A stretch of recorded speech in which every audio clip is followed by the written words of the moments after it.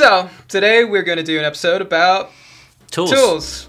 Big surprise. But this is going to be a roundup of some of the tools that we've been using that we've kind of discovered in 2017 and things we are still using today. All right, let's take a look. I uh, all I want for Christmas is a new tab key because my tab key broke.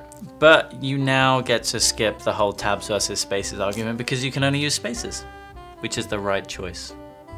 Yes.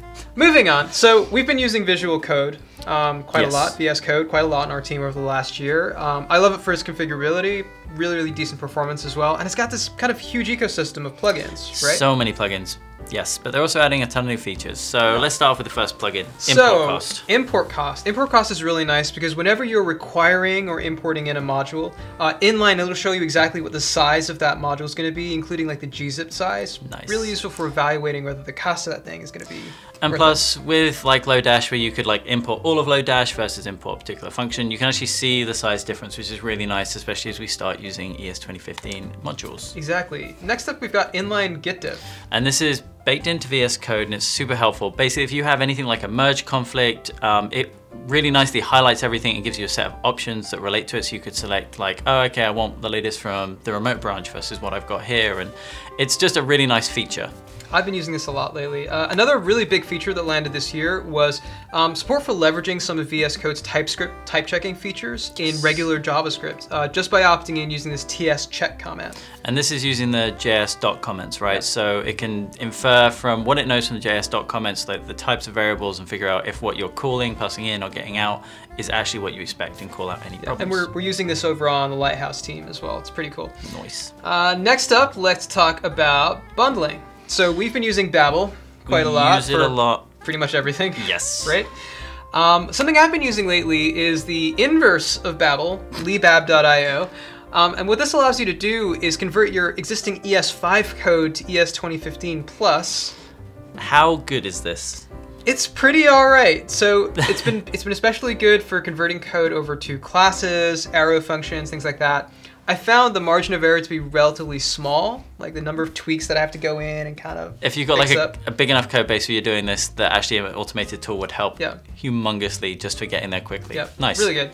Uh, Babel preset env is another thing we've been using a lot lately. Yeah, so back in the day, you used to use Babel and it would convert everything to polyfills or like code that would run in older browsers. Babel preset env, you define like what browser support you want. So you could say Chrome and I want the last two versions. And the nice thing with this is it would just compile the things that actually needed to be changed rather than everything. Exactly. Looks a little bit like this. We've got you covered for both ways to pronounce Babel as well. I pronounce it Babel and you pronounce it Babel. Sam Saccone told me how to do this and I've already forgotten. It's okay, you're both wrong. Yes. Webpack. so Webpack has been pretty popular with this last year, continuing to gain in popularity. Uh, Webpack Yes. 3 came out. Um, one of the nice features that it included was a feature called scope hoisting. Uh, Sounds fun. Sounds great. So, in earlier versions of Webpack, uh, when you, you were working with modules, it would wrap those functions. Um, it would wrap them into functions that isolated the scope of those modules. Um, imports would get translated into variables that would hold the results of a Webpack require function.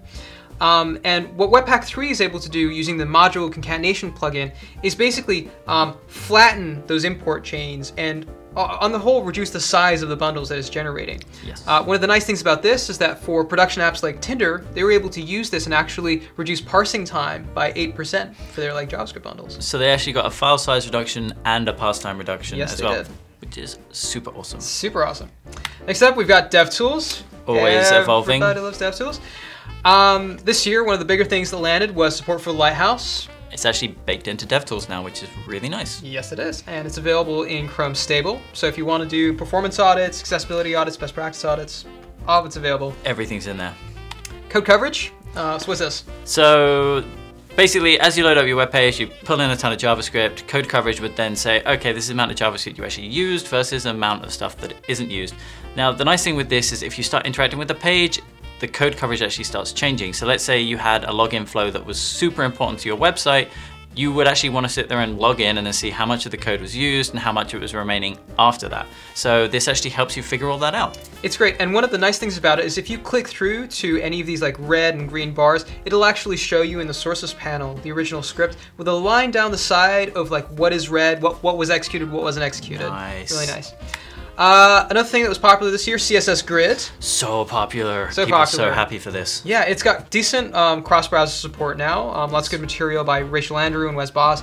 Um, the Firefox DevTools did a great job of introducing CSS Grid highlighting. It's so pretty. And Wes Bos has done um, a tweet, we'll put it in the description, where he explains what all the lines in this mean, which is, and it just, it looks stunning, like trying to figure out, especially if you're new, learning what everything's doing. And uh, we've also got support for this in the Chrome DevTools. Of course. Of course we do. Um, Puppeteer. So uh, this year we also uh, introduced Puppeteer. It's a node library which provides a high-level API to control Chrome headless over the DevTools remote debugging protocol. Really nice for sort of scripting a bunch of things. So if you want to script loading up a web page, uh, you know, taking a screenshot of it, converting it to a PDF, logging in, you can do that. I mean, if you wanted to do those, like you can compare two images and figure out what amount of it had changed, this would be perfect for that. Two screenshots, same browser, bonk, what, what's changed? Yeah, nice for testing, nice for scraping content from sites. Next up, we've got continuous integration, your favorite topic. Yes, I'm so excited about this. So Travis came out with this this um, beta feature called um, Travis Build Stages. So you used to be able to have it where Travis you could define multiple builds and it would just do them one after the other. Stages means you could say, well, actually I want these number of tests to run, and then I want after that I want to do a deploy script, or I want a GitHub comment bot, or X number of stages. So this is really nice because you can start reorganizing your Travis file into chunks. Um, it's still in beta. They're on their second iteration of this, but I am super excited. So good. Was it hard to set up? No, it was actually pretty easy. Uh, the thing was just the formatting gets a little bit wonky depending on how advanced you want to get in terms of nesting stages. All right, nice. Uh, another thing that we've seen quite a few different tools spread out for is performance budgets and performance budget tracking. Yes, uh, like bundle size is obviously like super popular. Um, we've been using it in Workbox like a similar incantation of it, and it's immensely helpful for just saying, oh, this PR has grown the size of this by X amount, or this PR is purely to reduce the file size of something, and then Yeah. you can actually see it in the PR. Really great for holding your team accountable Yes. and stuff. Next up, we've got design. I thought it was important for us to also talk about like the bridge improving between designers and developers. Um, I use Sketch quite a lot whenever I'm sort of building prototypes, trying to sketch out UIs. Um, and something I came across was a plugin for Sketch and ImageOptim. So ImageOptim is this free uh, desktop app for Mac that can you know optimize your images, has support for MozJPEG, modern compression schemes. And what this stuff. this hook does is whenever you're exporting images from Sketch to share with other people or deploy, it'll actually automatically run it through ImageOptim. So you've got like the reduced number of bytes right off the bat. So you technically can't really export an image without it basically being as small as it can be right off the bat. Right now, I don't believe that's the case with No. Sketch. They should fix it. They should, but should. either way, if it simplifies it, awesome. Yeah. Uh, another thing I really wanted to give a nod to was some work by the Airbnb team, uh, Jon Gold, on a React Sketch.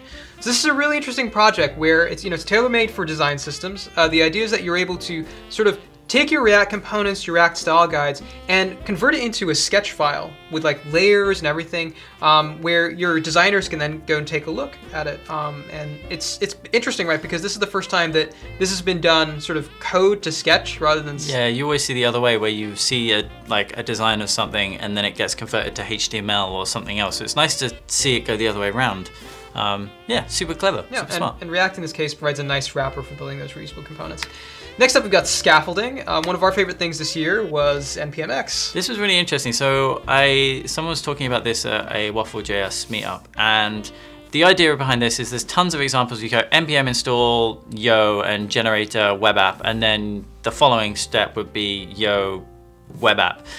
The idea with npmx is it you pass in the command that you want to do, and it figures out well, okay, you've tried to run yo, but I need to go grab the yo package, and you tried to run web app, and I know I need to generate a web app package. So it'll do the npm install script for you, and then immediately run the bit afterwards.